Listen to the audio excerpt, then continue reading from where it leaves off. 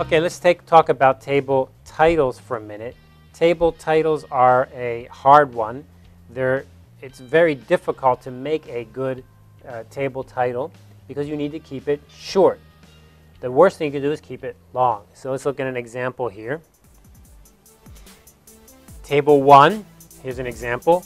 Relation between college majors and performance. It is unclear where data is presented in the table. Okay, so this is a little note here. Let me separate this for you. This is just, just read the there. Relation between college majors and performance. Now that seems to be kind of brief, but it also seems to be very general. So it doesn't tell us what the research really is. Here's one that's a little bit too detailed. Mean performance scores on test A, test B, test C of students with psychological, psycholog psychology, physics, English, engineering majors. Ooh, it's a lot of majors. That's what they're doing. And just read it over to here. That's a note after that. So one is too short, and one is too long. The too short one is too general. It's just saying, well, I studied college majors, but this one here, it's got all the majors listed. That's too much. This one here talks about a relation, but this one down here actually tells you relation of scores between test A, test B, test C. So these are two extreme examples. A good compromise would be in the middle, something like this mean performance scores of students with different college majors. So we do mention majors, but we don't say what the majors are. We do say that it's measuring the mean and the performance scores of the subjects who are students. So this is a good title for a table because this table is going to show me the students. The variables are going to be the, the performance scores. The numbers inside of here are going to be the means and the subgroups are going to be the college majors, the small n, right?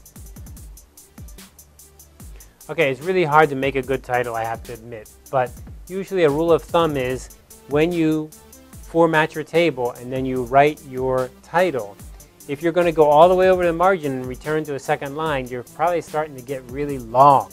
So how many words is that? Um, seven to ten words. You really need to fit everything in there to make it clear. Abbreviations in tables can be explained in the table title. So if you have an abbreviation in your table, for example here, FA, hit and false alarm proportions in experiment 2. This is a title of a table. And inside the table, we have FA. What is FA? Well, we go ahead and we explain it inside of the title. Now, we could do it in a note. Why would we not put this inside of a note at the bottom? That's perfectly acceptable. In fact, inside the table, we could have FA and then put a little asterisk. And then down in the note, we could say, what does asterisk mean? That means FA, false alarm. Why don't we do that? Well, you could do that, but in the title, we put it in there because we're saying this FA is really key to understanding this table. This table is about FA. If you go read the table and you don't know what FA is, that's really confusing. So you can go ahead and explain the abbreviation inside the title. You can abbreviate non-technical terms. So for example, you could say NO for number, NO period. You could say percent sign for percent. For statistics, you could write M, you could write SD, standard deviation, you could write chi-squared. So you can use these ways to try to make your table title a little bit shorter. What about table headings? So here we have some headings for these columns. So on the left side here is the uh, grade level. And then on the right side is grade. Which one is a better, better a heading for that column?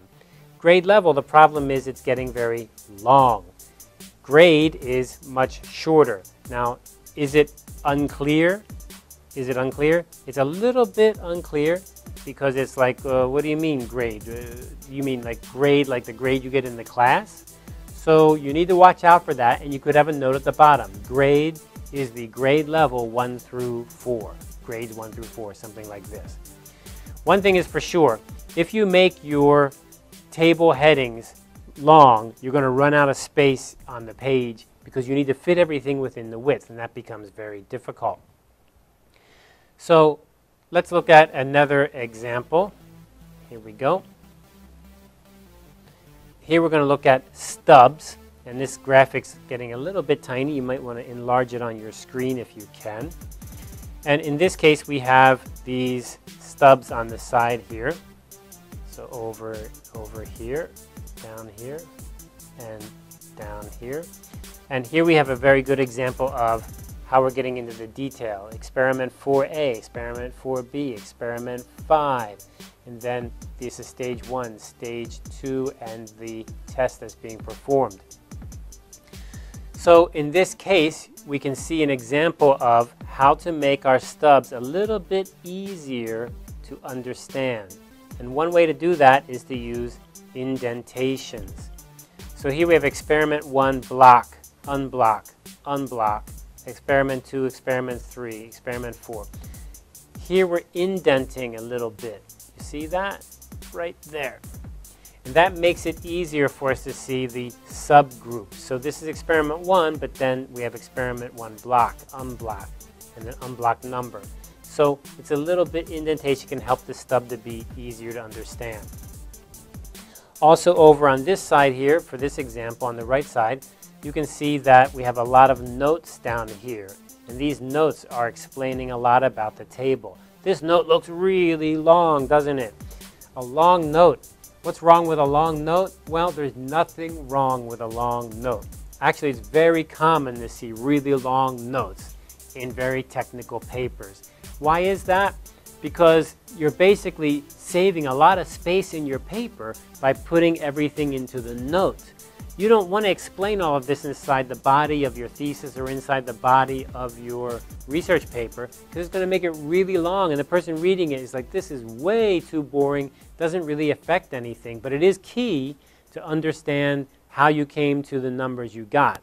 So you put it into a note. It's a perfect solution. And this is an example of a really long note, but I would not call this too long.